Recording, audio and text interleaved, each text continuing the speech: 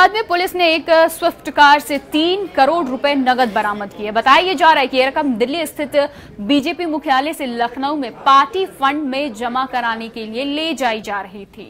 ये कार गुड़गांव के अजित मिश्र के नाम पर है और इस गाड़ी में अनूप अग्रवाल और सिद्धार्थ शुक्ल सवार थे। बताया जा रहा है कि आज सुबह चेकिंग के दौरान इंदिरापुरम इलाके में स्विफ्ट कार के चालक ने बैरिकेडिंग को तोड़कर भागने का प्रयास किया। वहाँ मौजूद पुलिस ने संदेह होने पर कार को रोककर तलाशी ली तो उसमें से तीन करोड़ रुपए बरामद हुए हैं।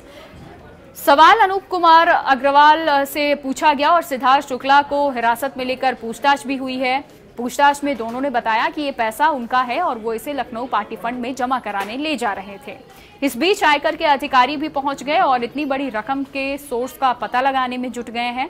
पुलिस को शक है कि ये काला धन भी हो सकता है। इस बीच भाजपा के पूर्व महानगर अध्यक्ष अशोक मोंगा इंदिरापुरम थाने पहुँचे और उन्होंने दावा किया है कि ये पैसा पार्टी फंड का है और ये लखनऊ जा रहा था।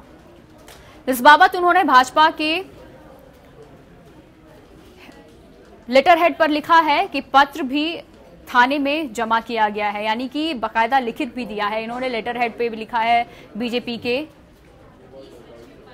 एनएस 24 पर ये वो गाड़ी थी जिससे इतनी बड़ी रकम पुलिस ने बरामद की है। पहले तो रोकने की कोशिश की गई।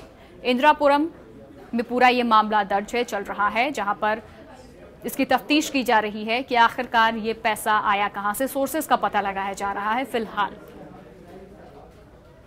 कार्यालय की गाड़ी है। लखनऊ कार्यालय पैसे जा रहा है। पैसा रूटीन के लिए और कार्यालय निर्माण के लिए है। इनको शुरू में ये जो दिखा दिया। ये जो लेटर पकड़ा गाड़ी के साथ पैसे दिखे उसने ड्राइवर ने एक कागज़ भी दिखाया। अच्छा। अपना व्हाट्सएप भी दिखाया। उसके बाद उसके बावजूद भी पुलिस इसे दूसरे ढंग से दिखाना चाहती है।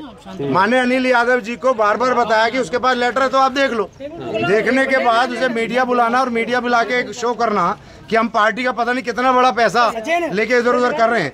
ये चोरी का और डकैती का पैसा